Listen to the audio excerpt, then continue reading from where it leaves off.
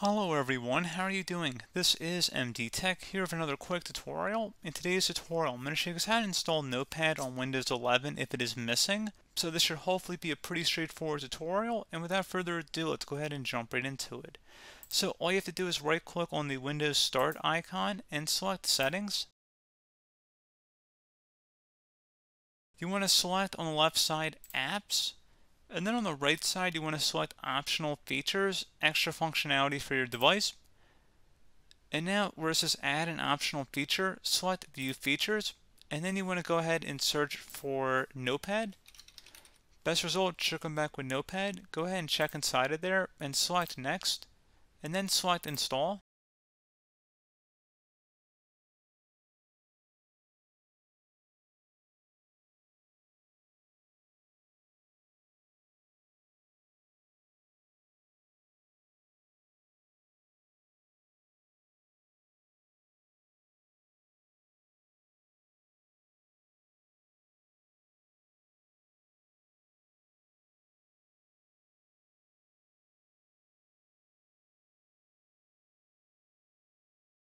And there you go, it should say it's installed.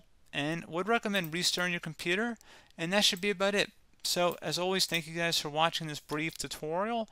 Do hope I was able to help you out. And I do look forward to catching you all in the next tutorial. Goodbye.